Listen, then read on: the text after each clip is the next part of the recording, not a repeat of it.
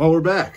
We're back with another video, guys. It's Kyle. We're to cut right to the chase here. We are going to be discussing uh, some of the interview tips that I have if you are interested in getting into management. Um, so if you enjoy this video, feel free to like, comment down below, and subscribe for more. I'm to be doing a lot more videos kind of related to interviewing, helping you guys land jobs, everything like that. Um, I feel like I've done a pretty good job of laying out my current position with Aldi and kind of some of the things I've been doing, more so like giving you a little bit of perspective from me actually actually being in the position. So my next few videos, I really want to focus on your interviews and giving you guys some tips on how to land the job. So I've given you what it's like to be in the job, and now I want to help with actually landing it.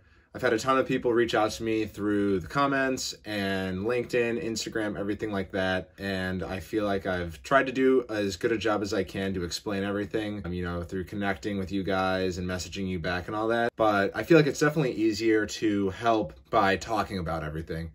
Um, so hopefully this will help you guys in addressing a lot of your questions that you might have if you're interested in working for Aldi, or more specifically, if you're just trying to get into a management position in general. Um, I know my experience is in management, so I think I have some pretty good tips on what you guys can do in interviews to really set yourself apart and land these positions. So I think that the number one thing and the number one mistake people make when interviewing um, when answering questions is they provide the philosophy of an answer. So basically, what I mean by this is an interviewer asks you a question and you answer with how you would do something. And this is going to be something that you don't want to do. You want to take from real life examples things that have happened to you and apply them to answering the question. So if an interviewer asks you a question and they say, they give you a scenario, for example, and let's say that there are two employees that have a disagreement and both of them come to you. It is your job to resolve it. What are you going to do?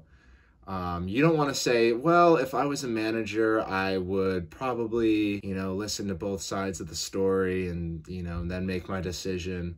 No, you want to answer it by pulling from a real life example, something that has happened in your past, and answer it that way. For example, you might say something like, well, at my previous job, I had a situation arise where one employee thought that the other employee was, you know, yada, yada, yada, doing something wrong. And I feel like I'm being taken advantage of. So then you would answer it by saying, well, like I had this situation with these two employees and I decided to listen to both sides of the story, talk to both of them, and then we ultimately came up with an agreement between the two uh, that was mutually beneficial to both. Both parties were happy, blah, blah, blah. You say something along those lines, but you want to say something that pulls from your past experience. And you're going to want to do this with most of the questions that you're being asked.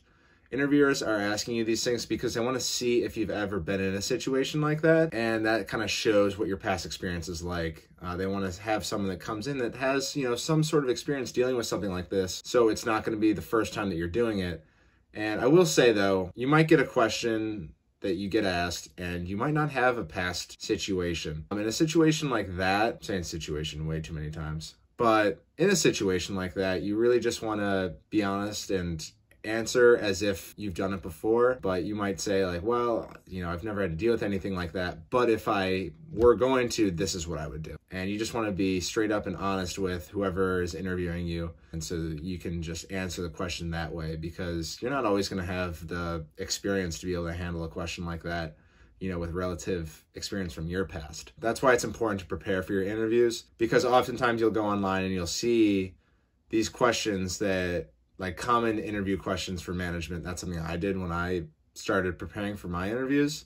Um, and you'll see a lot of these questions that interviewers have, they'll come up online um, in some form or another. They might be worded differently, um, and they're not all going to be the same but if you can go online and prepare for these questions, you're going to have much better of a chance to answer them the right way when you're asked them in an actual interview, even if you don't have that experience. Now, the next tip I have is to understand the company's needs. And they're hiring for that specific position. Why are they hiring for it? Let's say you're going into a company and they're hiring for a recruiting position. Okay, they probably need more candidates to bring on board. They need someone that is talkative, someone that's extroverted, you want to really think about these things when you're going into your interview. You know the position, you know the company, you need to put two and two together and figure out why they're hiring for that position.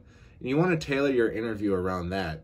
So if a company needs a recruiter, You should be someone that's pretty extroverted, you like to talk to people, you're personable. And if you're going in for a management position, this company likely needs someone that can motivate employees, can lead, everything like that. So you're going to want to understand this. You're going to want to understand the company and what they're after in their candidates. And you're going to want to use that to your advantage when you go into an interview. You really want to tailor what you say to what the company needs. Why would a company hire someone that doesn't really align with the characteristics they need out of that person. Doesn't really make sense. So you want to make sure that what you're saying kind of aligns with what the company needs if you want that position. And one of the next tips I have for you guys, and this is super important if you want to get into management, is to show your enthusiasm, okay? It's not, it doesn't seem like a hard concept, but you'll see as you interview people is that some people just don't show the enthusiasm. They look like they don't want to be there. They don't want to be at the interview. They don't really care about the company.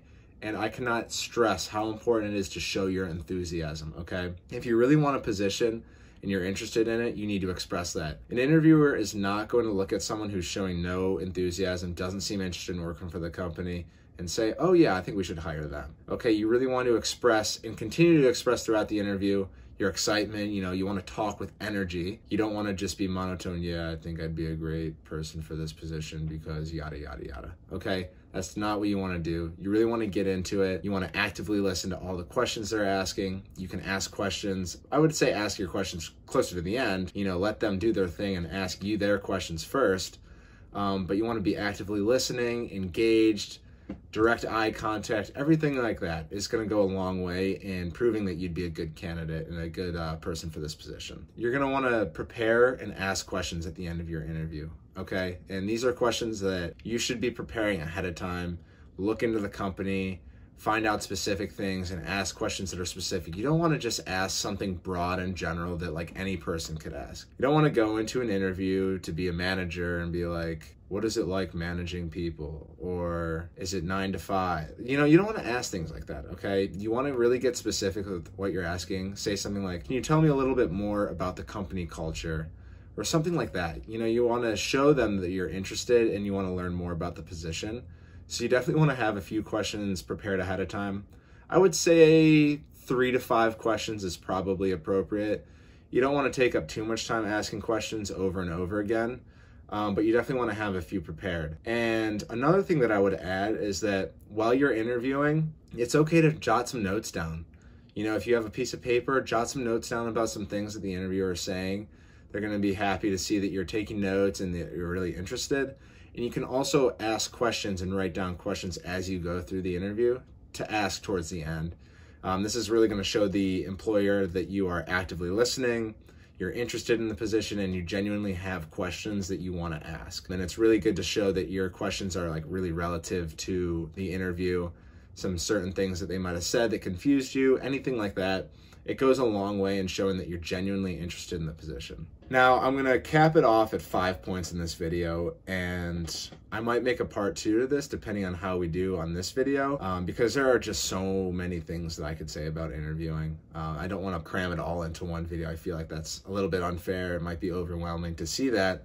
Um, but the last thing I did wanna say is the importance of closing out your interview so many people go into interviews and they might ask a question or two at the end and then that's it. They say thank you very much blah blah blah have a good day and that's it. I think that closing is one of the most important parts of the interview. Your first impression and your last impression are super important. Um, so the biggest thing that you can do at this time once you've asked your questions is re-emphasize how you think that you would be a great fit for the position. So you ask your questions and you say to the employer, thank you so much for your time. Once again, I want to say that I think I'd be a great fit for the position. I look forward to hearing more from you in the future about next steps. And that's what you do, okay? You can ask, make sure that you get their business card or some contact information so that you can send them a thank you note preferably handwritten. Those go a long way. Um, and even so, an email right after the interview. Um, you know, make sure that that's done within an hour of your interview. You want to show them that you're prompt, you're prepared, you really want the position, everything like that. So you're definitely going to want to do that. Make sure you get that information from them. I know I've had a couple instances where I've forgotten to get the business card of the person who interviewed me and it's kind of a nightmare to track that down. And sometimes you just aren't able to find it. Sometimes it's not always possible. Um, and that sucks because, you know, that's one extra thing that you could have done that might have made you stand out from the person next to you. So definitely recommend doing that. Closing out the interview is super important. You know, sometimes I know when I first started interviewing for jobs, it was a little bit um, nerve wracking, like closing out the interview and trying to re-emphasize, hey, I think I'd be a great fit for the position you know, you're just ready to get out of there at that point. You're like, okay, like, please just let me go. I know it's hard sometimes, but really just push yourself to go that extra step. Um, emphasize how, you know, interested you are in the position, everything like that. Um, and it's going to make, it's going to make yourself stand out a bit, which is definitely what you want. Um, so I'm going to end it there, guys. Thank you so much for watching. Like I said in the beginning, feel free to like and comment down below any tips you might have, questions, I'll leave my Instagram and LinkedIn links in the description so you guys can reach out to me, connect with me through those sites. Um, I'm typically a bit more active on Instagram. I only check LinkedIn once or twice a week, maybe. Um, so if you're looking for more, you know, rapid responses, definitely connect with me on uh, Instagram. And yeah, if you guys feel free to feel free to subscribe as well. Uh, we're almost at 100 subscribers, which is awesome. Been loving the engagement that you guys are providing. Uh, all the support is awesome. It's just making me want to continue to make these videos and help you guys out. Um, so I will leave it there, and I will see you guys in the next one. Peace.